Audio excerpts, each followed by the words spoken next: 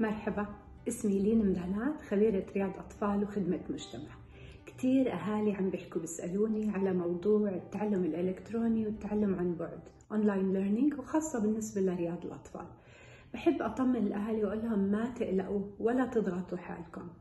بدي أذكر كمان الأهالي إنه كل طفل قدراته بتختلف عن قدرات الطفل الثاني وطريقة تعلمه مثلنا إحنا الكبار بتتفاوت.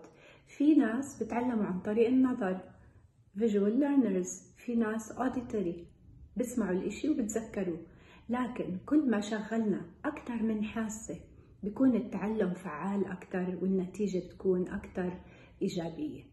بدي أذكر الأهالي كمان يفكروا إنه إيش أهم إشي بالنسبة لأطفالهم في هاي المرحلة.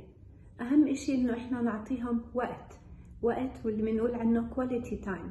نص ساعة بالنهار أهم من ما نقعد نعطي تعليمات ونقول لهم شو يعملوا. بس اقعدوا معهم نص ساعة واشتغلوا معهم اعملوا معهم إشي ممتع. هذا بالنسبة لهم أكتر إشي ممكن يتعلموا منه. من الأشياء الثانية المهمة واللي بدي أذكر الأهالي يعملوها أول إشي الطبخ. الطبخ بيعلم كتير أشياء وكتير مفاهيم مفاهيم رياضية. لما أنا أجي أعد أقيس أكيل. فإحنا عمالنا بنعد طبعا إحنا بدنا بوعي نكون عارفين إنه عمالنا نستفيد من هاي الخبرة بإنه نعلم طفلنا نعد نشوف كاس كبيرة كاس صغيرة. ففي كتير مفاهيم رياضية بتعلمها الطفل عن طريق الطبخ. فيزياء فيزياء لبعدين. كيف المواد صلبة. السائلة إيش بنخلط مع إيش؟ كيف الحرارة بتأثر على المواد؟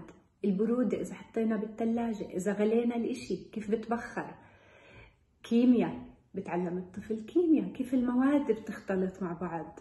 أثرها على بعض كيف الملح بيدوب إذا حطيناه بالمي؟ السكر. كتير مفاهيم نتعلم عن طريق الطبخ. وين المهم؟ الأسئلة اللي إحنا بنسألها لأطفالنا. إيش شفتوا إيش لاحظتوا وين راح الملح؟ وين راح السكر؟ شو صار بالمي بالثلاجة فاستمتعوا مع بعض وإنتوا بتطبخوا ولا منه ممكن يكون النشاط فيه فوضى كتير لكن خلوا الطفل هو ينظف كمان بالآخر.